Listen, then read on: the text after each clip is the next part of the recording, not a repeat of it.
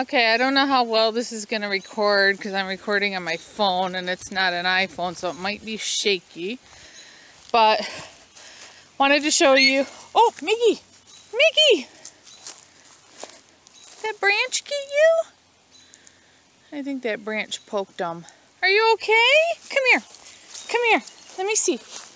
Hold on, guys.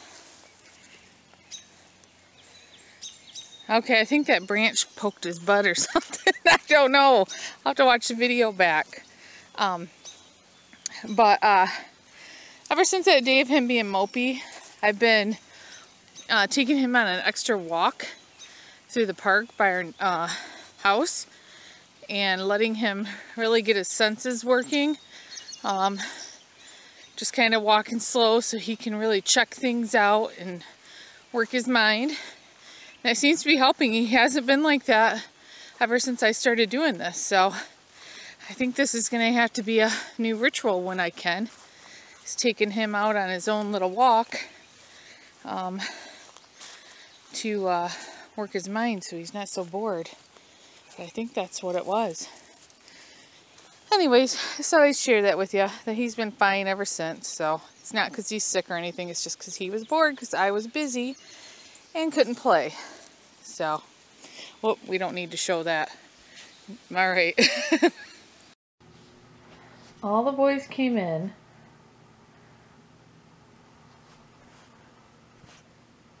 Guess where Mozzie is?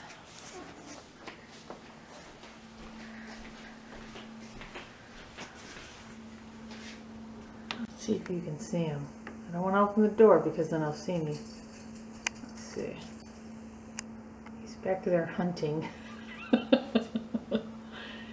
He's back there hunting for whatever is still living back there. He's just patiently waiting. Sorry, sorry. Whoop, whoop, whoop. Sorry, sorry for me shaking. He just heard me hit the window.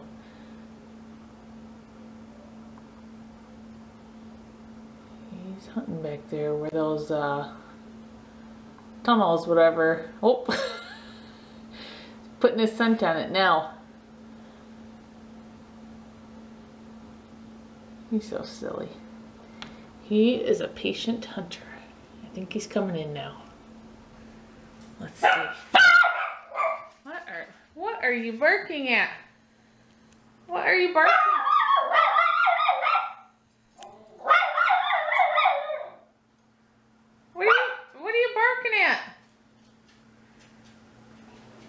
Okay, let's see if Mozzie's ready to come in.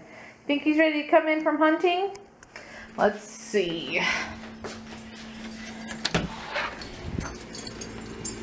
You ready to come in now? Oh, they're ready to go out. You okay, you're coming in and they're going out. Or you're coming back in. We can't make up our minds.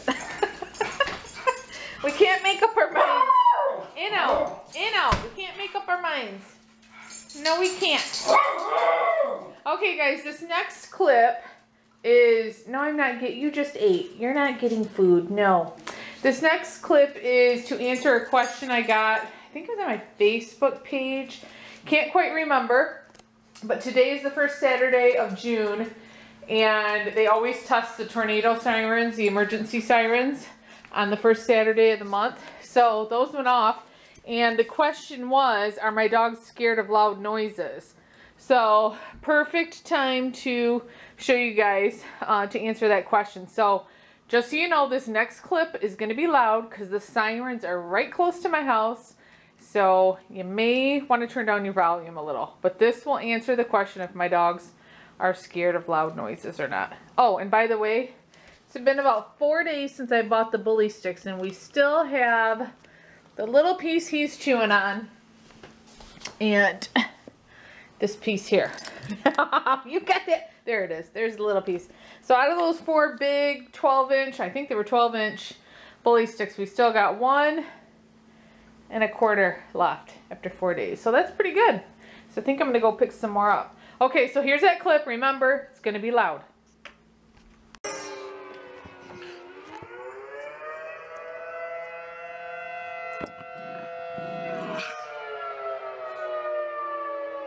Max is curious, but he don't care. I hear another dog in the neighborhood howling. Maybe he just wants me to kick his ball.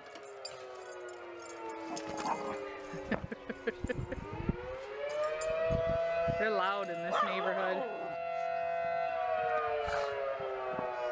What is that, boys? What is that? See, Max is curious.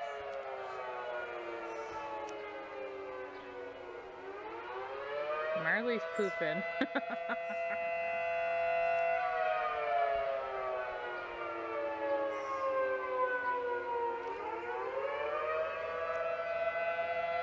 no howling going on.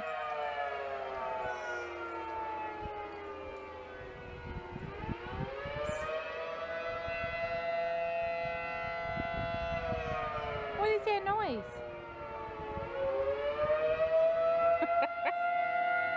Listen how loud that is.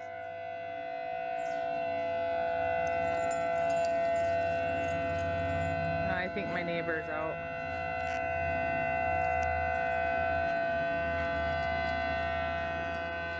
They don't care about the sirens. You don't care, do ya? You just want to play ball.